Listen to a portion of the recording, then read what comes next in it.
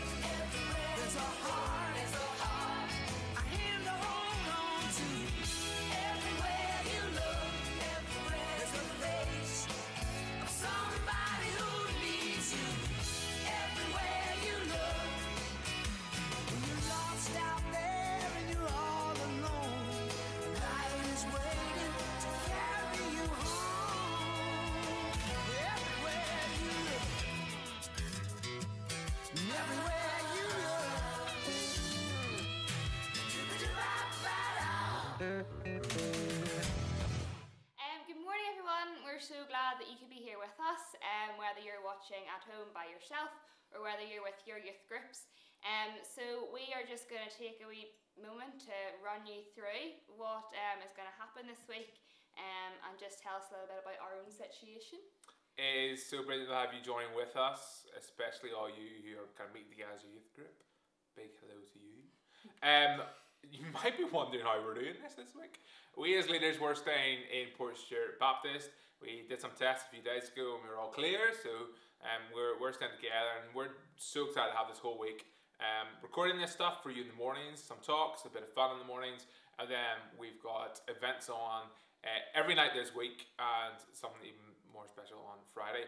Um, so tell me, what is happening this week? What's happening to start tomorrow? What's happening tomorrow? So Monday we have our fun day at the beach. Crack at the beach, is that what it's called? Bants at the beach. Bants at the beach. That's tonight. Yeah. Um, that's instead of that's tonight, and that's instead of Newtownbreda. We had to cancel Newtownbreda, unfortunately. Sad. Yeah, Sad. that is a sad time. But tonight at half seven, if you happen to be in the North Coast area, join us at White Rocks at half seven. You don't have to register in advance, you just turn up and there'll be a bit of fun and some games um, and, and, and different bits and pieces. So you can turn up and register when you're there. Um, it's a bit of a last minute thing, but it's very exciting. Back to the beach. What's happening Tuesday? Tuesday we're at Knockconny Baptist. Uh, Wednesday we're at Moira. Thursday Bethany Baptist, and then Friday we are up at the North Coast in Portstewart. Um, so that's a bit of, of a day of fun. Um, and just if you want to register, you can go to the BY Youth website to register for those. Fantastic. So when we are near you, please do join us. We would love to see you. Oh yeah. I mean, Oh, yeah. I really like all the leaders. But it's n- we need We we, miss. we need miss the more you. crack, you know. We miss you. Yeah. Miss so, you. You. Yeah. You might not think I'm talking about you, but I do. I am. I miss you. Anyway, uh, on to what we've got planned for this, the first of our morning broadcasts. Um, we should have come up with a name for the morning broadcast, but anyway, We should. We the- can work on that. we can work on that. Might have a name tomorrow. Uh, so, uh, what we've got planned first here today is a very, very special feature which is going to be running each morning. Um, and it's the Carpool Karaoke, uh, hosted by the Call Sisters. You really are in for a treat. Um, it's it's something special. It is special. It is. Feel free to sing along. Yeah. to look right at you, baby. But here's my Hey, I just met you, and this is crazy. But here's my number, so call me maybe. And all the boys try to chase me, but here's my number. Jennifer, What? we've forgotten something. For camp? We've forgotten the speaker for Speaker camp. for camp, How are we gonna get at such short notice? Let's go look. We can get one. Let's go look. Let's go oh, look. Oh, right, know, ready? I don't know. Right, let's have a look. Bound to be somebody about Portstewart this week we could get to speak. Okay, let's see. What about what about that guy over there? He'd be good. No, he's far too young. Oh, I need someone else. Someone else. a Keep bit looking, older, a wee bit more mature. Hmm. Right. What about what about him? He'd be perfect. Mm, better, better. We'll put him in the maybe pile. We back up. Let's reserve, reserve. Okay, okay. Oh look, look, look, look, look. Oh, who's that? looks alright. That looks like a solid option.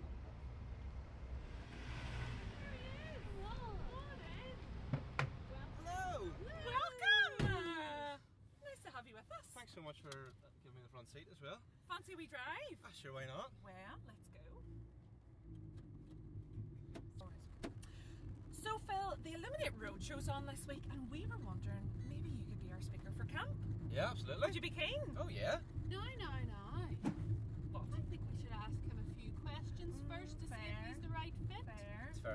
Have some there? Well, it just so happens that I packed them in the car should we need them. So, Feel nervous. so what do you do, Phil?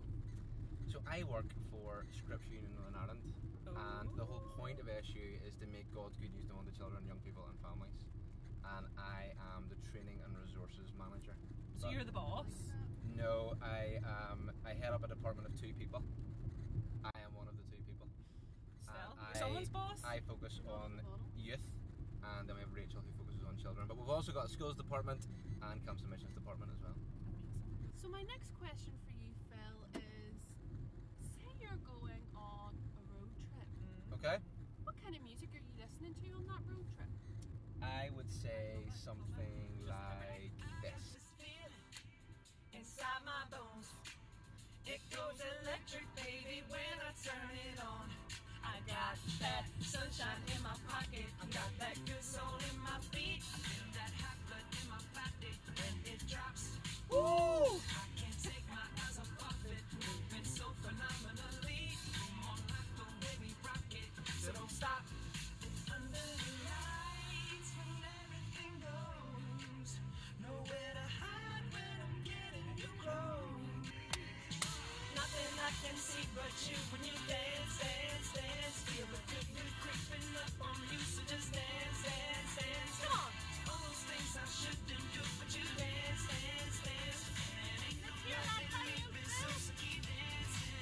can't stop the feeling. So just dance, dance, dance. Can't stop the feeling.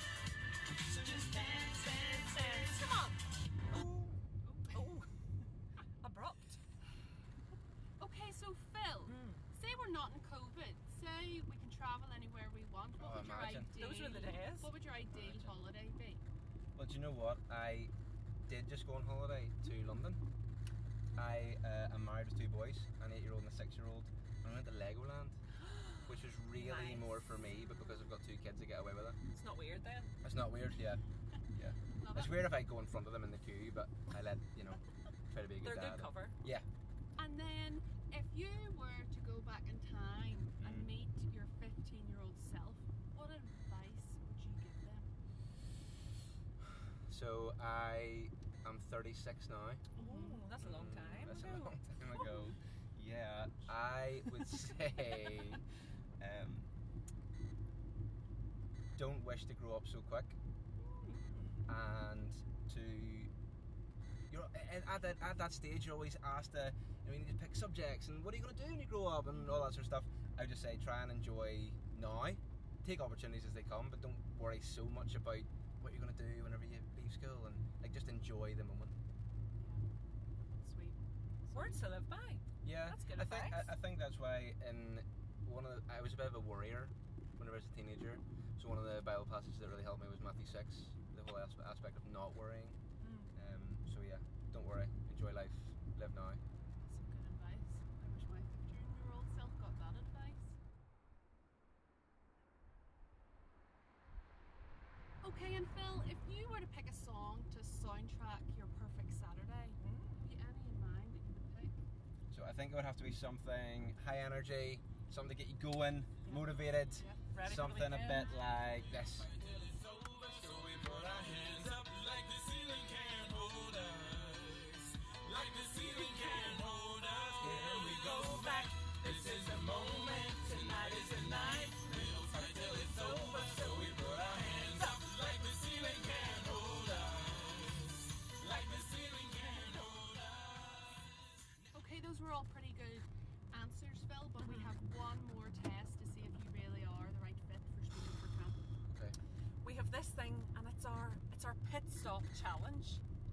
Want to see if you are the man that we need for our Lemonade Roadshow this week. So basically, Oh, I see what you did there without pit stop. Road. Uh, ah, that's good. that's good. unique, Road show, pit stop. basically, I have a friend Hannah, and Hannah has a problem. Hannah also needs a lift to camp.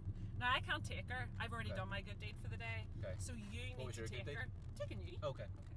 So you need to take her to camp. Okay. Is that okay? Yeah. Right, let's go and pick her up.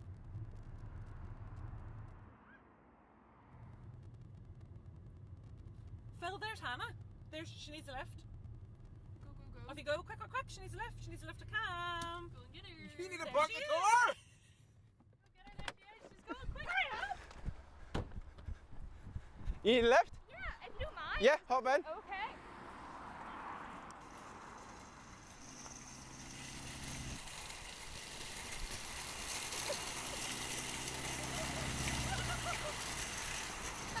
Is that fast, isn't it?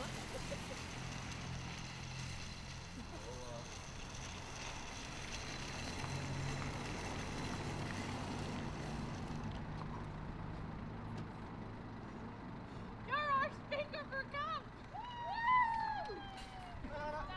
Come on in. Well done, Phil. How do you feel? How do you feel? Knackered. We are impressed. Would That you was like good some? going. Would you like some victory music? Yes, Oh, please. What's your victory song? Maybe something by Queen. Oh, I love it. What about what about this one?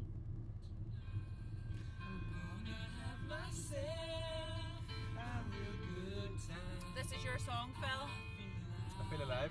Take the solo. Our camp speaker 2020. Having a good time, having a good time, like a shooting star, breaking to the sky, like a tiger, defying the There's laws another of word. gravity. I'm a racing car. Oh, a rocket ship. Go, go, there's no stopping me. I'm burning through the sky, yeah. 200 degrees, that's why they call me Mr. Fire. It's like It, it car. warm. It is warm today. I wanna make a supersonic man out of you.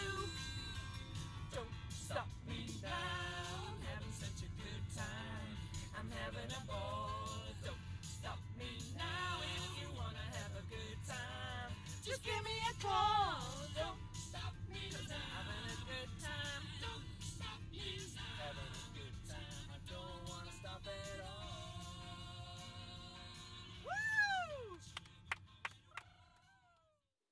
Well, first Carpool karaoke. What do you think? Oh, it was fantastic. And I mean, to be honest, I we knew I wouldn't be here if it wasn't without Phil. I know I wasn't sure if you were going to make it No, to Worcester Baptist, yeah. but We made it. It's Uh, fine. Phil is a super fella, and he's got you here on the trolley, Yeah. which is very very good, and some some good singing as well.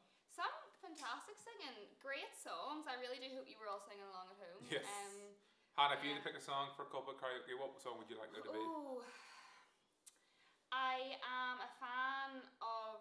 Although I know you're sitting in the car, I do love the cha cha slide.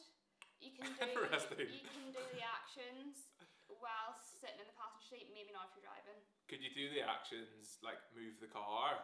So it's like to the left. and Well, like, you could do to the the reverse one because Yeah. you know, yeah, Reverse, reverse. Okay. could be dangerous. But yeah, Okay, what interesting. about you? What would be? What would I take? See, it's a difficult question to answer on the To, spot. to be honest, um, I'm just loving "Good for You" by Olivia. Do you know, I minute. I knew, know that's a, that's a really basic answer, Yeah. but I, I am loving it at the minute. That's fair enough. Um, yeah, so that's what I go for.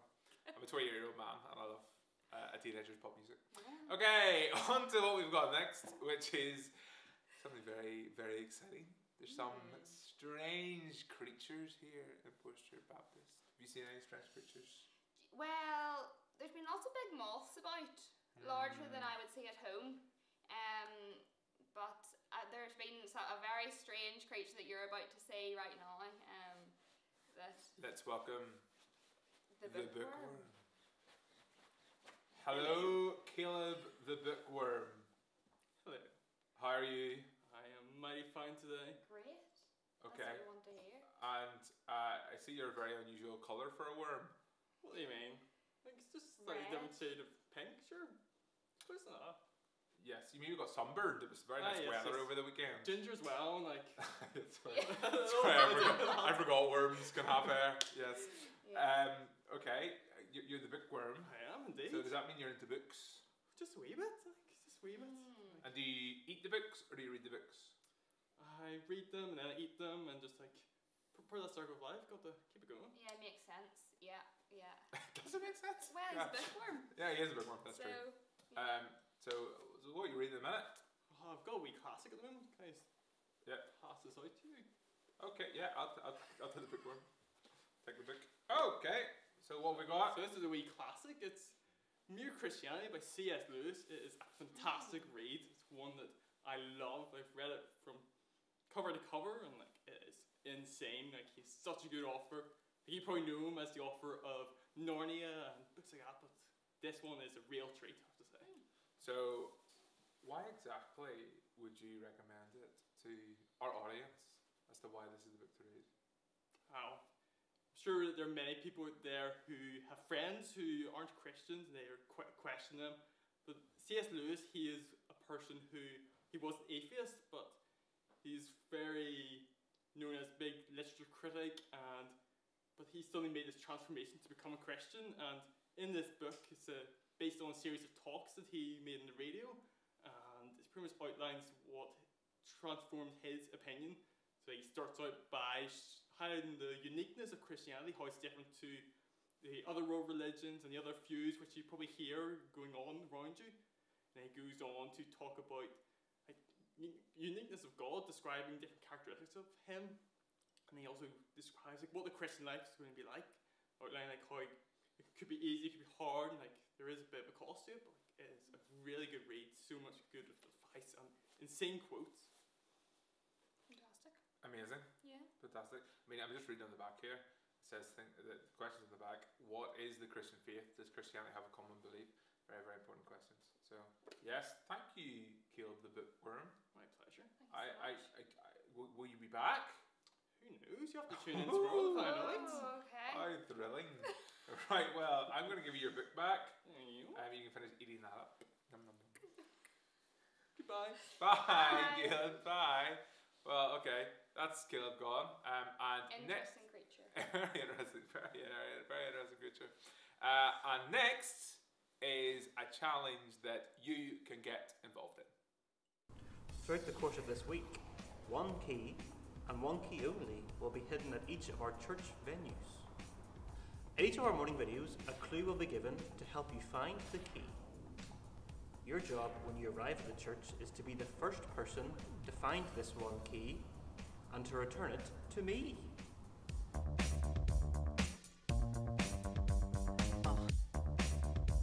Can't think, can't sleep, can't breathe. Uh, everything getting harder to find. Everybody jumping out of their mind. Everybody going out of their skin. See, we get to the end, but that's where we begin. You feel it? Mannequins and we breaking the mold. Breaking out and we breaking the codes. Similar to the jack who stole to the depths in your wet, so you take explode. So get it out. Send your body to flight. Everybody got a target tonight. Everybody come along for the ride. The winner of this challenge will then take part in a lucky dip to win some exciting prizes. So make sure that you tune into the morning videos, listen, out for the clues, to be the first one to find the key, return it to me, and win a prize. That was the Illuminate Geocache Challenge.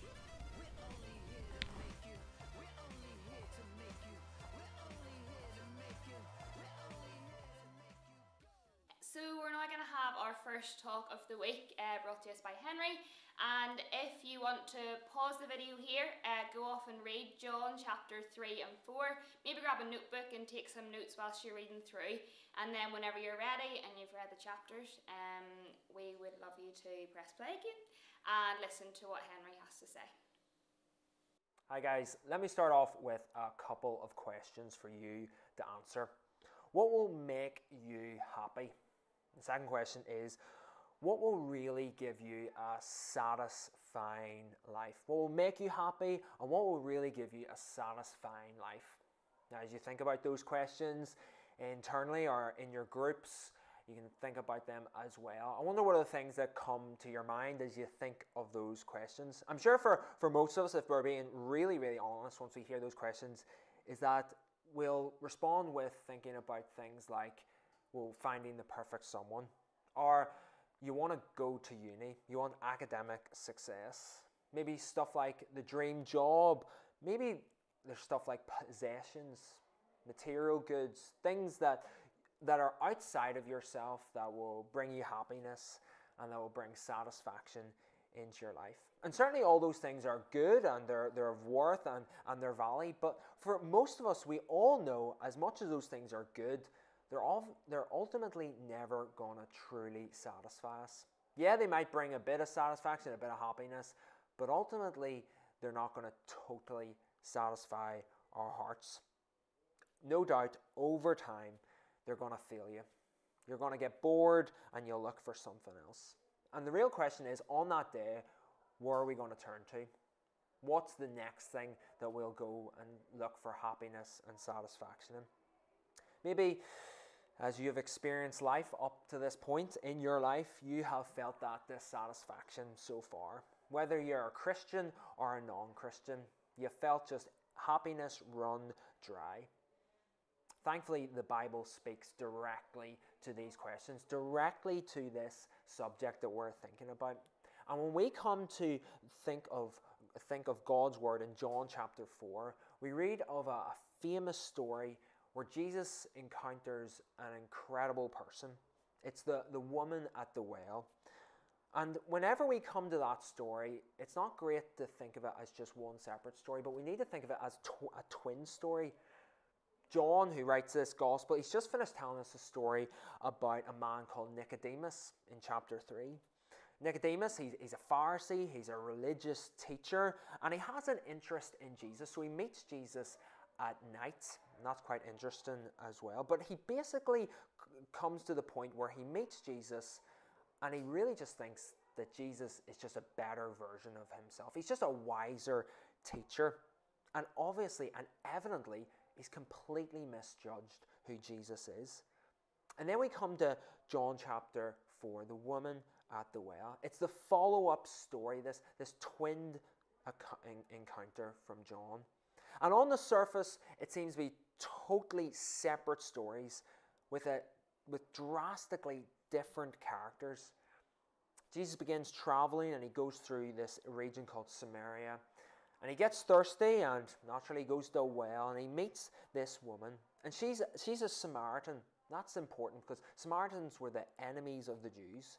And also, she's a woman, and just culturally, Jewish men just didn't engage in public conversation with, with women. But the most striking feature that John tells us about this woman is that she has some major moral feelings. She's not had one, two, three, or even four husbands. She has had five husband, husbands, and she's actually onto a sixth relationship. But nevertheless, she's still quite a religious woman, as we see in the passage. She has some good and solid knowledge of the Jewish faith, and she probably some sort of has some sort of allegiance to the Jewish faith. Maybe she believes in God. And what John is doing with these two stories in these two chapters is that it appears that we have two polar opposites. We have in John chapter 3 a well standing Pharisee, and then in John chapter 4 we have a morally lacking Samaritan woman. Yet the point that we're supposed to, and what John's pressing home to us, is that they are actually both the same. They have been searching for this happiness, satisfaction, fulfillment in all the wrong places. Nicodemus in his knowledge and status, and the Samaritan woman in her romantic relationships. And the reality is that though on the surface they seem miles apart, spiritually speaking, they are fundamentally the same. They're in desperate need. See, they're sinners and they need a Savior, but thus far, the Saviors they have been trusting have failed them. So Jesus says to Nicodemus that he needs spiritual rebirth, and to the Samaritan woman, he uses the metaphor of water. What he, what he says to her is that she needs not just physical water, but living water. And what is Jesus saying with this incredible metaphor? Well, use the words of Tim Keller, who paraphrases what Jesus is saying here in this encounter with the Samaritan woman, he puts it like this Jesus says this I've got something for you that is, base, that is as basic and necessary to you spiritually as water is to you physically. Something without which you are absolutely lost. Christ is the water the woman at the well was searching for. But the reality is that Christ is the water that we are all searching for. A new quality of life infused with God's eternal love. A life that can begin right now here on earth, but that will continue long into the future. And this is the good news message that as Christians we believe and that we simply offer out. So, how does this affect your life? What is this? How is this relevant to your day to day living? Let me suggest three things, three simple and brief applications, especially if you're, you're a Christian. Let me say three th- quick things. The first thing is this this living water is not confined to one moment of your life. Do not treat the, the well of living water that Jesus has given you, the salvation that you now own, with contempt. We need to come back to it every single day of our lives. It's where we find our source of strength. It's in Jesus, our Savior. You know, the gospel is not restricted to that dare moment of your conversion, as glorious as that is. It's what keeps you going. It's the water we need every single day. That's why Jesus uses this illustration because we need water every day. Second thing is this this living water does not cause any of us to boast. It gives us no reason to pat ourselves in the back. We need to remind ourselves if we follow Jesus and we're His, that the living water that He gives us is offered out of sheer and unrelenting grace. That means we have done nothing to earn it. We haven't deserved this salvation, this living water. So let's not deceive ourselves in thinking or convincing ourselves that somehow we've been great and God has given it to us because of how great we are. That's not the case. And the third thing is this that we should never ever keep this living water to ourselves. Remember, there's no limit to the living water that Jesus offers. Just like the, the Samaritan woman, whenever she embraced the message of Jesus, she went back and she told the people she knew. This living water is simply too great. It's too sweet. It's too glorious that we would keep it to ourselves. But if you're a, a non Christian, if you're not a follower of Jesus and you're listening into this, I'm sure, no doubt, that you have toiled and harried throughout your life thus far. I'm sure you've been searching for something, a, meaning, a purpose, an identity to cling on to, some solution to the reason of your existence. Why some days just feel don't feel the same. You feel dissatisfied, maybe a little bit discontent, and you just don't really know why. I love how the American rapper KB frames the gospel story in the context of living waters. And he says it this, and hopefully you'll be able to relate to this. He says, It's the story of hope for people like us who are spiritual deserts. Our souls are dying of thirst, and you can't throw money at first. You can't throw food at thirst because you can't drink money, and you don't want to simply die with a full stomach. True good news for the thirsty is this that water has come and you can live. The gospel is water, living water. Here is living water straight from heaven, water that will quench your soul, that will forgive your sins, make you right before a good and holy God, that will give you a better framework for living. That's not to say that there won't be any bumps along the road, that everything's going to be plain sailing, but it means that Jesus will come alongside you and he'll give you more grace, more water to keep you going. So come to this well, drink of this living water in faith that Jesus offers you. Thanks, Henry, and thank you for joining us um, wherever you are and whoever you're with. It's been brilliant to have you. Um, don't forget to join us again tomorrow at the same time.